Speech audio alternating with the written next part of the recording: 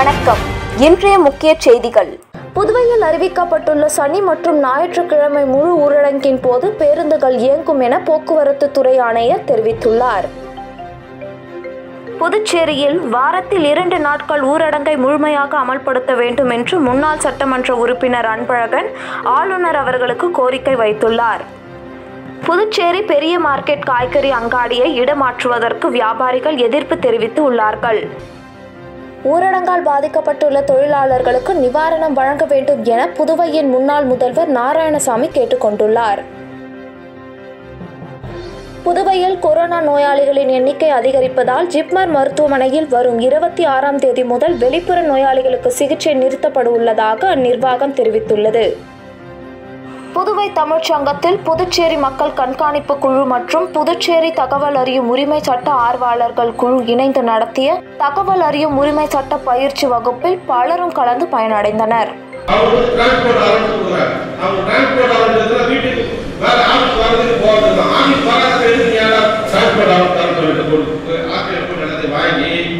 இப்போ ஒரு லெட்டர் இந்த மாதிரி மாநிலம் மாநிலம் ரெட்டியார்பாளையத்தில் ரசம் சாதம் சாப்பிட்டு பத்து மாத குழந்தை திடீரென உயிரிழந்தது. இது குறித்து ரெட்டியார்பாளையம் போலீசார் வழக்கு பதிவு செய்து விசாரணை செய்து வருகின்றனர். புதுச்சேரியில் கல்லூரி மாணவியை கொலை செய்த குற்றவாளியை கைது செய்ய வேண்டும் என விடுதலை சிறுத்தை கட்சியினர் போராட்டத்தில் ஈடுபட்டனர். புதுவை லாஸ்பேட்டை பகுதியில் அமைந்துள்ள ஆனந்த நகரைச் சேர்ந்த தனசேகர் குடும்ப தகராறில் மனைவியை கொன்றுவிட்டு தானும் தற்கொலை செய்து கொண்டார். இச்சம்பவம் அப்பகுதியில் பரபரப்பை ஏற்படுத்தியுள்ளது. வரும் சனி மற்றும் ஞாயிறு முழு ஊரடங்கின் காரணமாக புதுச்சேரி மாநிலம் காரைக்கால் மாவட்டத்தில் உள்ள திருநள்ளாறு சன்னீஸ்வரன் கோவிலில் சாமி தரிசனம் ரத்து செய்யப்பட்டுள்ளது. புதுவை பல்கலைக்கழகம் மூடப்பட்டதால் மாணவர்கள் தங்கள் சொந்த ஊர்களுக்கே திரும்பிச் செல்கின்றனர். புதுச்சேரி லாஸ்பேட்டை அசோக் நகரில் வசித்து வருபவர் ராஜாமணி. அவர்களது வயது எழுபத்தி ஒன்பது. இவர் நேற்று தற்கொலை செய்து கொண்டார். இவர் ஓய்வு பெற்ற அரசு ஊழியர் என்பது குறிப்பிடத்தக்கது.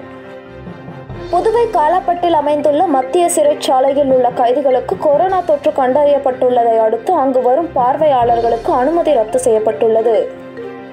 இன்றைய ஆபரண தங்கம் மற்றும் வெள்ளி விலை நிலவரம். தங்கம் ஒரு கிராம் ரூபாய் நாலாயிரத்தி நானூற்றி எண்பது ரூபாய்க்கும் ஒரு சவரன் தங்கம் ரூபாய் முப்பத்தி ஐந்தாயிரத்தி எட்நூத்தி நாற்பது ரூபாய்க்கும் விற்கப்படுகின்றது. வெள்ளி ஒரு கிராம் ரூபாய் எழுபத்தி நாலு புள்ளி அறுபது காசுகளுக்கும் ஒரு கிலோ வெள்ளி ரூபாய் எழுபத்தி நாலாயிரத்தி அறுநூறு ரூபாய்க்கும் விற்கப்படுகின்றது. பெட்ரோல் ஒரு லிட்டர் ரூபாய் தொண்ணூறு புள்ளி ஐம்பத்தி ஆறு காசுகளுக்கும் டீசல் ஒரு லிட்டர் எண்பத்தி நாலு புள்ளி இரண்டு காசுகளுக்கும் விற்கப்படுகின்றது. இத்துடன் செய்திகள் நிறைவடைகின்றது. நன்றி வணக்கம்.